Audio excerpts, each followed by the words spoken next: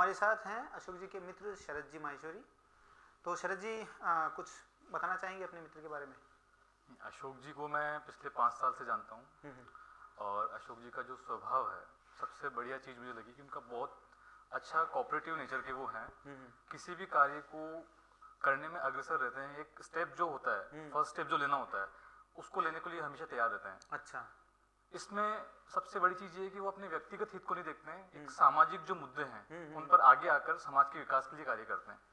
देखिए सर क्या होता है कि जितनी मेरी समझ है लीडर्स जो हैं वो दो तरीके के होते हैं। एक लीडर तो वो होता है जो कुछ सोचता है उसके पास में कुछ विजन होता है और उस विजन को अचीव करने के लिए उसके पास में team making team building capacity होती है और वो एक टाइम के बाद में उसको साकार भी कर लेते हैं।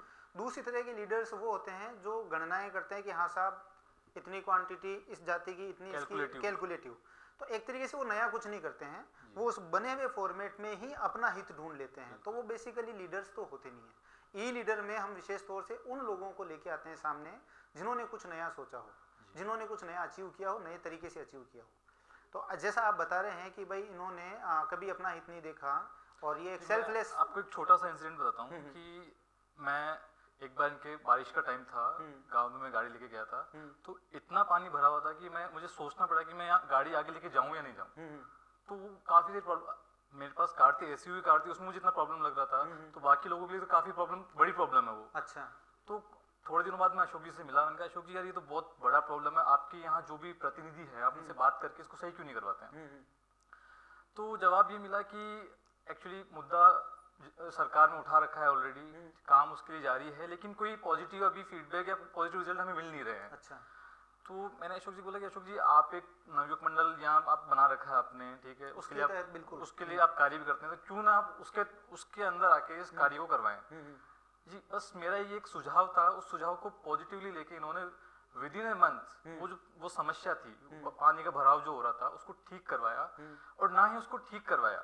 जो पानी वेस्टेज नालियों में जा रहा था उस पानी को उन्होंने कनेक्ट कर दिया कुएँ के थ्रू अच्छा। तो वो सारा पानी स्टोर हो रहा है कुएँ के अंदर। तो उससे क्या बेनिफिट हुआ कि जो वहाँ का वाटर लेवल है जल स्तर जो है वो बढ़ गया। और उसका रिज़ल्ट ये हुआ कि वहाँ जितने भी आसपास हेड पंप वगैरह है तो उसमें जो पानी की कैपेसिटी थी वो बढ़ गई। वो बढ़ गई। क्या बात है साहब। तो इन्होंने एक ही तीर से दो निशान लगा दिए। कि एक तो पानी की समस्या जो है उसका भी निराकरण हो गया। उसके साथ साथ उन्होंने जो वहाँ का भराव होता था पानी का उसको भी सोल्व कर दिया। तो लोगों को पानी भी मिला और जो पानी वेस्ट जा रहा था उसको बचाया भी जा सका। कहने का मतलब ये है कि इनके पास में कार्य करने की इच्छा शक्ति मौजूद है कार्य करने की इच्छा शक्ति भी है बिना किसी पॉलिटिकल इक्वेशन के। कोई इक्वेशन ही देखते हैं कि भाई अगर मैं ये काम कराऊँगा तो इसमें मेरा क्या बेनिफिट होगा? इसमें में ये प्लस हो सकता है इसमें माइनस हो सकता है। बिल्कुल सरल स्वभाव से बिल्कुल निस्वार्थ होकर जो सेवा करते हैं उसी के कारण है कि आज क्योंकि अगर मैं बात करूँ एक महीने पहले की तो मुझे नहीं पता था कि ये जो बंदा है ये जो इंसान है पार्षद प्रत्याशी बन के आएगा भाजपा की ओर से। ठीक है? अशोक जी लाहौटी भी काफ़ी टाइम से मॉनिटर कर रहे हैं जो हमारे विधायक हैं सांगानेर के। वो भी काफ़ी टाइम से इनकी एक्टिविटीज़ जो हैं उनको मॉनिटर कर रहे हैं। जिस टाइप से कोरोना काल के अंदर इन्होंने लाइक घर घर जाके सैनिटाइजेशन का काम किया है जो कि किसी पर्सनल इंडिविजुअल का काम नहीं है कि वो आपके घर का सैनिटाइजेशन करे। ये किसी गवर्नमेंट का काम है कि वो इसके लिए लड़े लेकिन नहीं। इन्होंने अपने आसपास के एरिया में ना केवल वार्ड में मैं ये नहीं बोलूँगा कि केवल अपने वार्ड में। यानी चुनाव वाली गणित नहीं जी जी कोई पॉलिटिकल इक्वेशन हाँ, नहीं है हाँ, आसपास के जहाँ भी नीडी पर्सन हैं चाहे वो भाकरोटा में हो वार्ड पैंसठ में हो छियासठ में हो सड़सठ में हो जो भी इनका एरिया है वहाँ जाकर इन्होंने सेवा की है।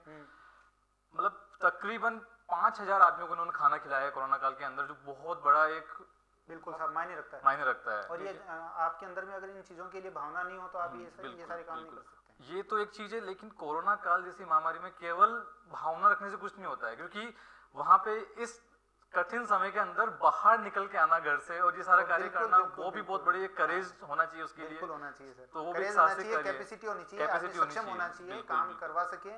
खुद के पास में भी इतनी वो होनी चाहिए कि भाई कल को अगर मान लो सब पीछे भी हट जाए तो अपन पीछे ना हटें। जी जी। बहुत बढ़िया साहब बहुत अच्छा लगा आपसे बात करके। धन्यवाद।